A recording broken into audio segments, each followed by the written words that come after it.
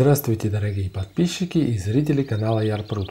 Пришла весна, снег растаял, и на берегах прудов я стал замечать многочисленные норы, причем у самой воды, что не характерно ни для кротов, ни для полевок, ведь они боятся воды. Кто же тогда это может быть? Норки или выдры? Я слышал много страшных рассказов, как они истребляют всю рыбу в пруду.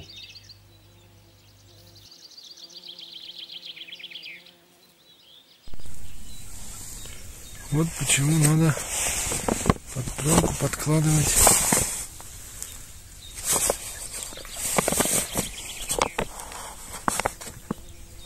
геотекстиль. Потому что вот так вот пленку и можно проткнуть. Но больше всего меня беспокоило то, что эти зверьки, кто бы они ни были, портят пленку в прудах вследствие чего вся вода может вычесть, и мои кувшинки и рыбки останутся без воды и погибнут. Я долго смотрел и читал в интернете, как определить, кто роет норы.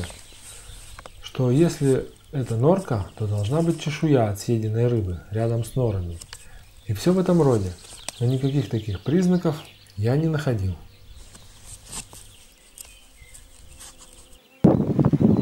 Я уж не знаю,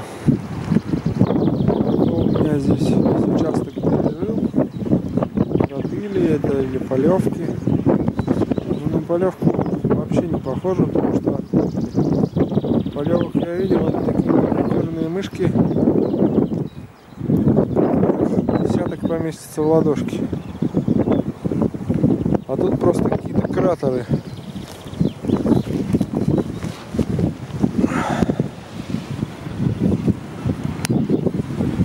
размер 12 сантиметров. Просто какие-то слоны тут подкопы роют.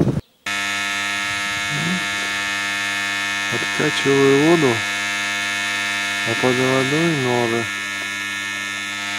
в берегу. Что-то мне подсказывает, что это явно не раки. Какие-то рытвины здесь такие.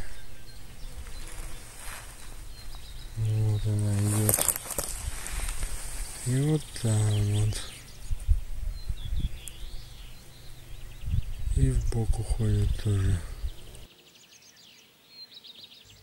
И вот однажды, когда я решил откачать воду в одном маленьком пруду, видимо падение воды в норах и посторонний шум от насоса возбудили обитателей. И вдруг я заметил, как зверек выбежал из одной норы, быстро побежал под водой и мигом юркнул в другую норку, к сожалению, все произошло мгновенно и в кадр не попало. Внешне он был похож на обыкновенную крысу. Порывшись в интернете, я узнал, что основная масса нор в наших водоемах вырыта именно крысами, но не обычными, а водяными.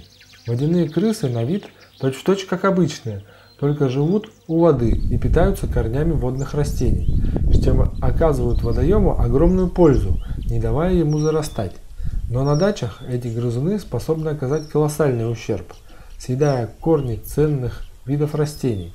Стало понятно, что от ледяных крыс надо срочно избавляться, пока они не обглодали все мои кувшинки.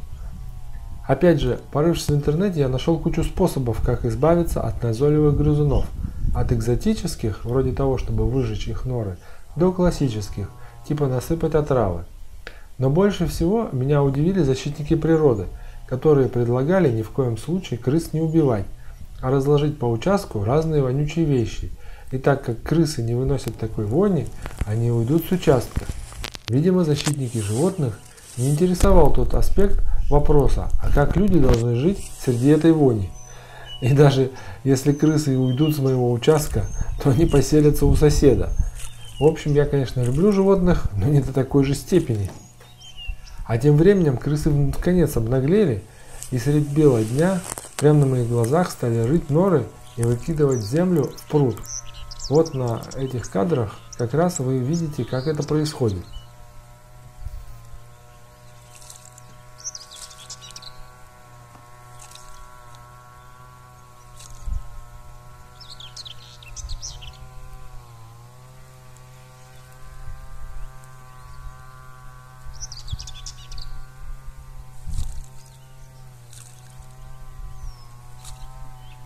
Короче, пора действовать. И так как под рукой как раз оказался баллон с пропаном, я решил опробовать радикальный способ, а именно выжигание крысиных нор.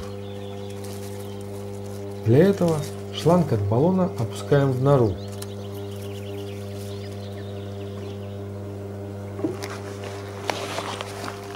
И открывая вентиль, запускаем газ, и так как пропан тяжелее воздуха, он должен заполнить нору. Для пробы я решил много газа не заливать, все-таки штука взрывоопасная, что называется, не пытайтесь повторить это сами.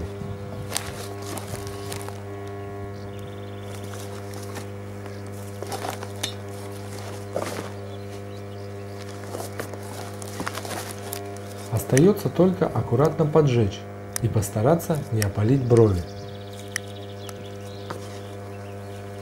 Хлопка не произошло, газ стал как костер гореть из норы.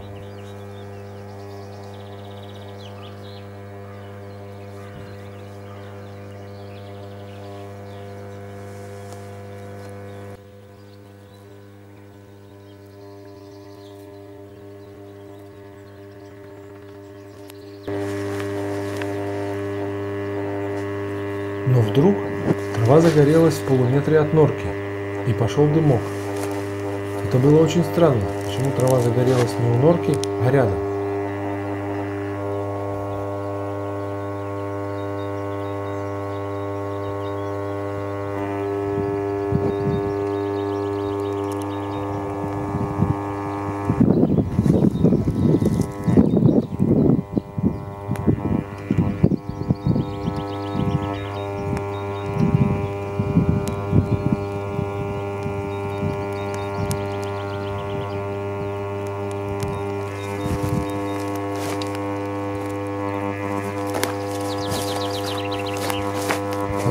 Траву, я увидел.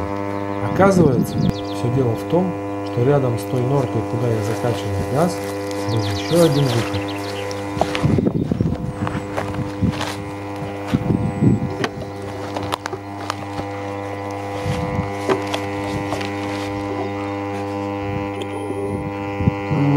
Вторая норка показалась, потому что загорелась. Запускал я сюда, в эту норку.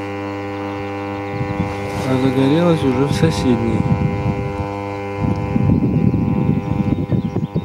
норе, которую я даже не видел. Так как выходов в норе могло быть масса, и сами туннели могли быть длинные и разветвленные, то я решил больше не экспериментировать с газом. Ведь крысы могут просто отсидеться в воде, пока я жгу их норы. Следующим я решил опробовать классический способ и просто расставить рядом с прудами крысыловки. Я приобрел два типа крысыловок. Первый это пластиковые, похожие на большие прищепки, и классические с металлической скобой. Чтобы крысы, попавшись в ловушку, не утащили крысыловку, она привязывается к колышку, который вбивается в землю. В крысыловке рядом с кормушкой для рыб я решил положить комбикорм в расчете на то, что крысы могут привыкнуть подъедать комбикорму рыб и могут соблазниться и попасть в крысыловку. А в другую часть крысыловок я положил яблоко и морковь, так как водные крысы питаются растительной пищей.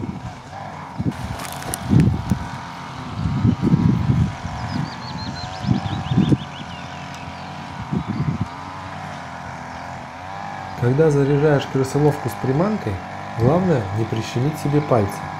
Поэтому я сначала клал приманку, а только потом взводил скобу. Часть крысоловок я решил дополнительно с помощью шприца добавить растительного масла, так как оно хорошо пахнет и привлекает грызунов.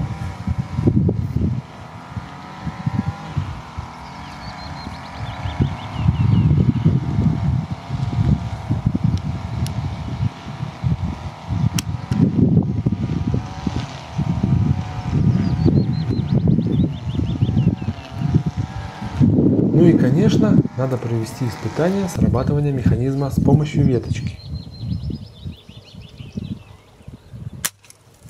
Как вы видите, все работает отлично. Остается только дождаться крыс.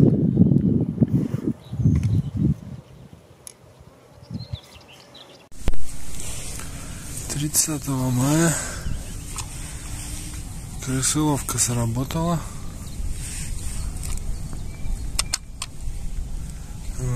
Куча слизняков. Крыса не попалась. Водяная. Положим в нее опять.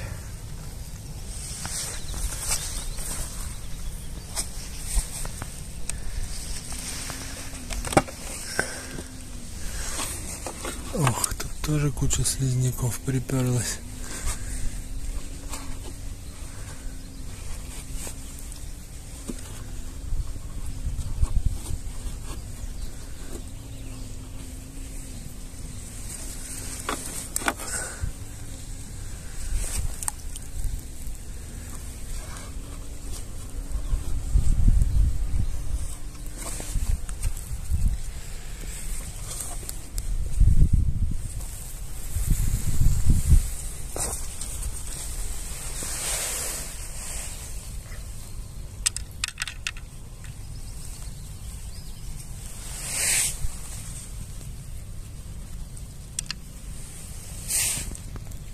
Несмотря на все мои ухищрения с крысоловками, за несколько месяцев ни одна крыса в них так и не попалась, и приманки не были съедены.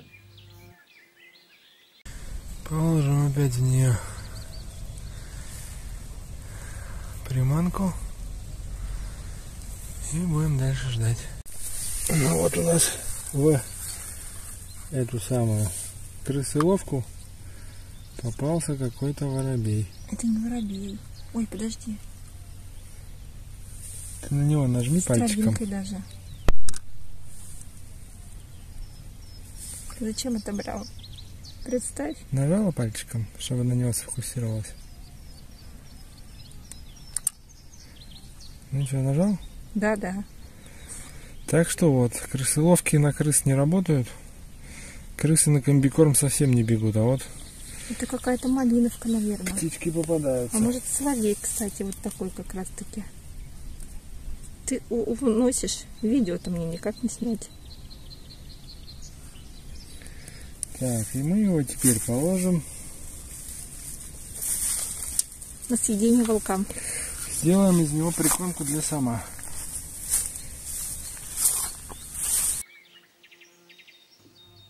Чтобы смерть бедной птички не была напрасной, я решил использовать ее как приманку на сама, которая растет в моем пруду.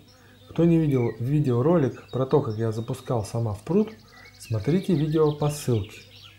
С легкой руки подписчика моего канала Константина сама назвали Семен Семенович. Так как на зимовку я выпускал сама в большой пруд, весной приходилось его вылавливать и сажать в маленький прудик, чтобы Семен Семенович не съел всех карпов в большом пруду. Лето прошло, и в крысоловке не попалось ни одной крысы. Единственное, кто слегка контролировал численность грызунов, были соседские кошки, которые дня, днями напролет караулили крыс на берегу моих прудов, за что им отдельная благодарность. Осенью, когда соседи увезли домой всех своих кошек, я решил попробовать третий способ борьбы с грызунами, а именно насыпать везде отравы. —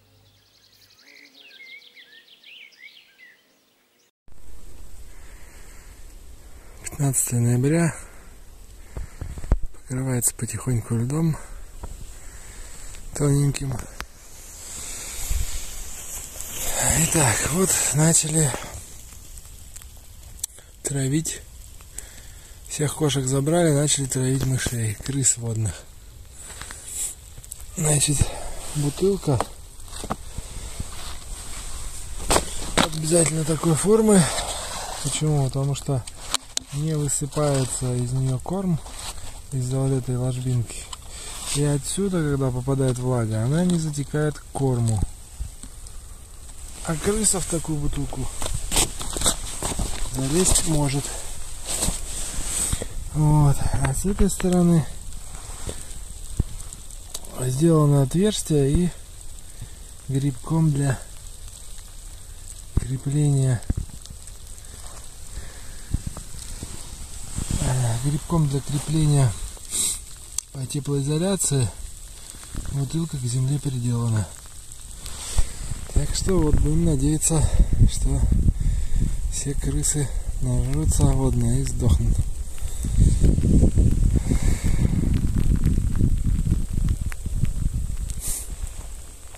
Вот таких бутылок я здесь наложил 4 штуки на пересечении у прудов. Остается дождаться весны, когда растает снег и будет видно, съедена ли отрава и эффективна ли она против водяных крыс. Кому понравилось видео и кто хочет узнать, удалось ли избавиться от хитрых водных грызунов, подписывайтесь на канал. А если есть вопросы, пишите в комментариях.